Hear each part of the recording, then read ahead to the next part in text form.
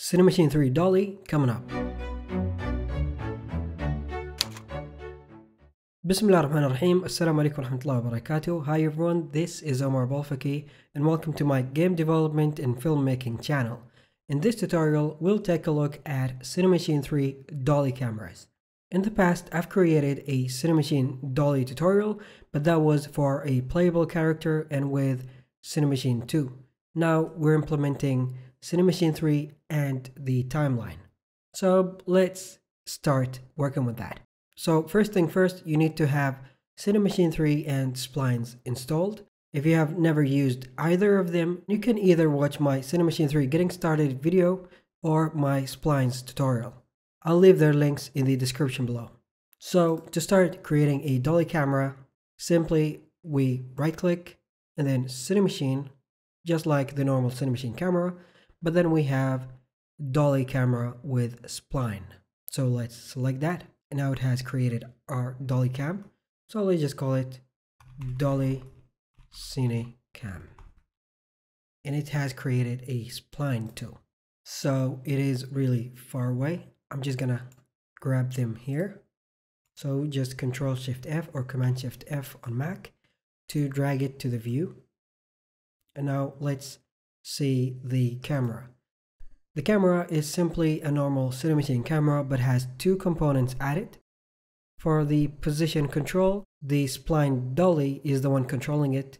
And for the rotation, it's a rotation composer, so it needs a look at target. I can just disable that for now. So we can just rotate it as we wish. And I'm just going to reset its rotation. And then here we have the spline.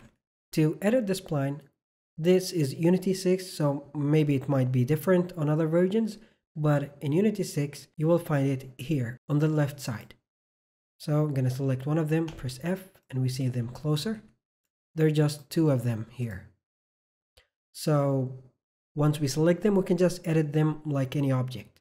We can use the W to move around to move it around. And let's make a simple path that moves from from this side to the left side. And I'm gonna reset the rotation as well. And I'm gonna select the camera and make it look at the uh, at this side. For the position, to position the camera, we have three options. Distance, normalized, and knot.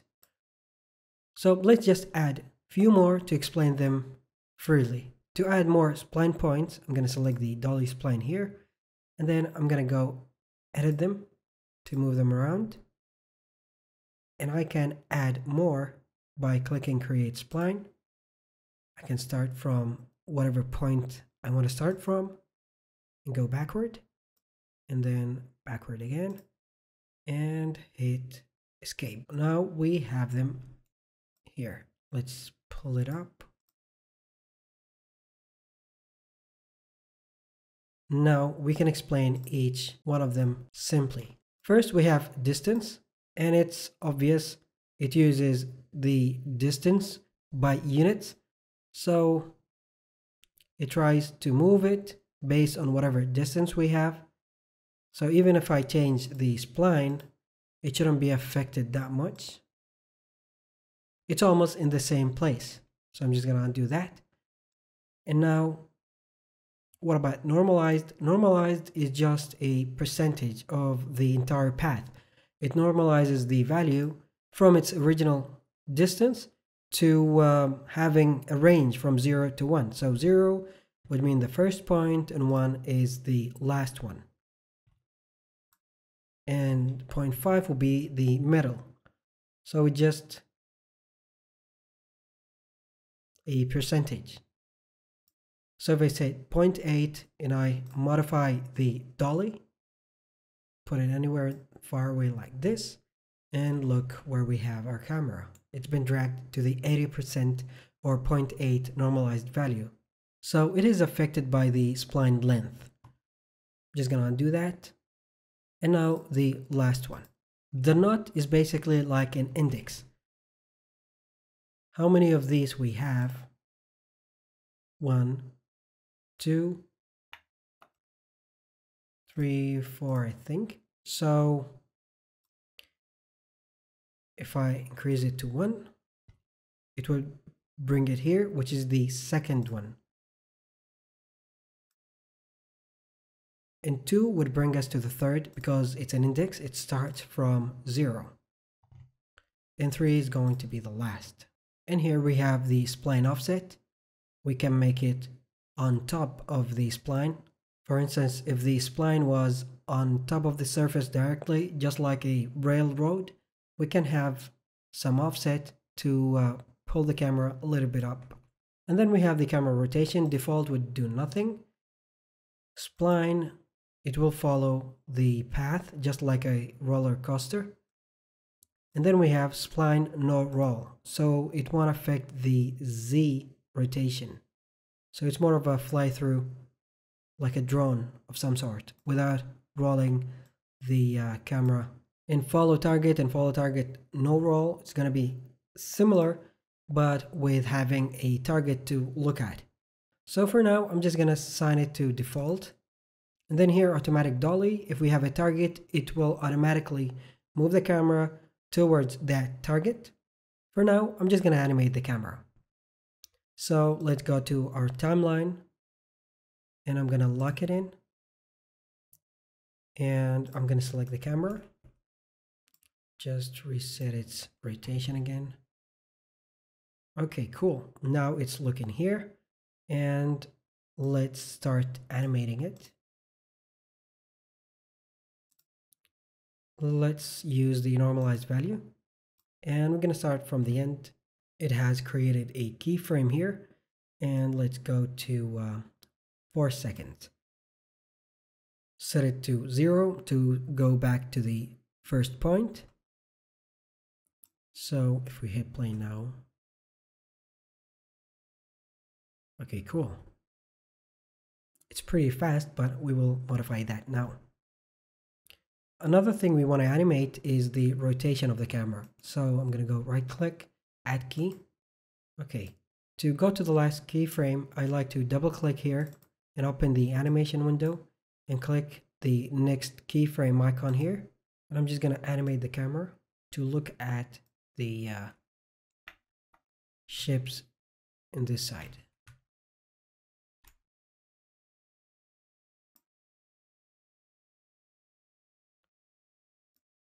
And in the first frame. I want the camera to look more at the uh, ships to have more coverage here. And okay that is getting better. So I'm just gonna pull the keyframes a little bit far 11 seconds. So let's hit play and see what do we have so far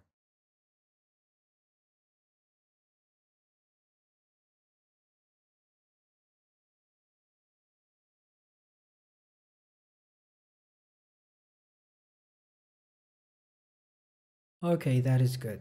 So I'm to start modifying the spline a little bit for another shot. Okay, like this, and I'm just to hit delete. Select this one, delete as well. I just want to have a short path. Starts from this side probably, and a little bit up. And then we're to go down. Just a simple spline. I'm going to select something else and select it back again to move the entire dolly a little bit down. Now, since we used a normalized value, it will try to animate within that new spline.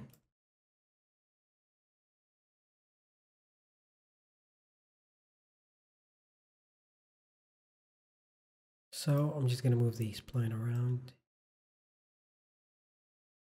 and start from the top and go into the bottom here. And I'm going to double click here and I'm just going to delete the rotation animation.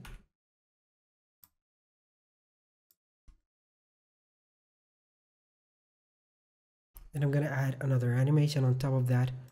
I just want to have this ship moving from one side to the other. So add it here as an animation. Start moving it here. And maybe like that. And now we want the camera to look at the uh, ship automatically. So I'm going to select the Dolly Cinecam again. And we're going to use the rotation control with the rotation composer. And I'm going to add this ship as the target. I'm just going to lock it. And then drag it here. So now we can see that it's getting much more interesting. With a little bit of longer lens.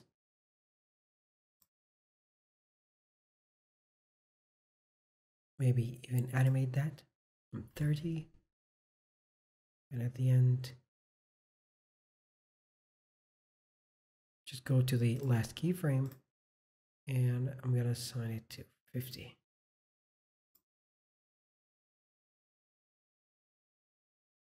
And just drag it down like this. Okay.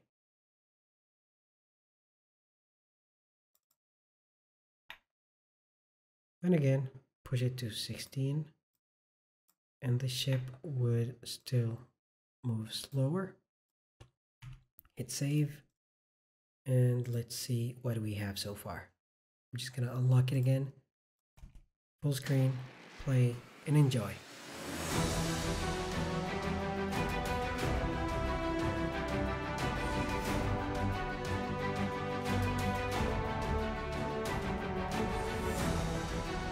This is exciting. You can do a lot with Cinemachine and Unity's timeline, and you can create short films or cutscenes with it. And if you're interested in this kind of things, you can check out my Unity Filmmaking 101 course where we go through all of these things step by step from an idea, storyboarding it, into making an actual one minute short film, voiceover, a custom composed music, and much more. You can check it out in the description and you can get the first five lessons for free. So that's the end of this tutorial. I hope you like it and uh, I really wish you all the best. This is Omar Balfaqih. Thank you so much for watching. I'll see you in the next one. Bye bye.